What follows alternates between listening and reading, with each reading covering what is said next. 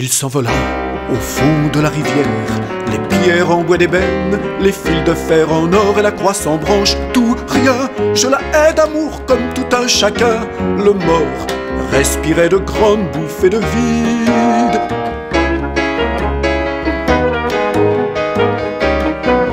Le compas traçait des carrés et des triangles à cinq côtés. Après cela, il descendit au grenier.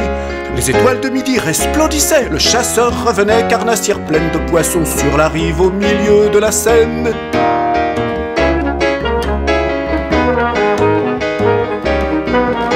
Un ver de terre marque le centre du cercle sur la circonférence.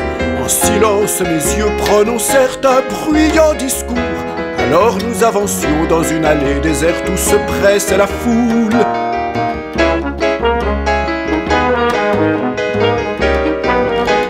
La marche nous eut bien reposés, nous eûmes le courage de nous asseoir, puis au réveil, nos yeux se fermèrent et l'aube versa sur nous les réservoirs de la nuit, la pluie.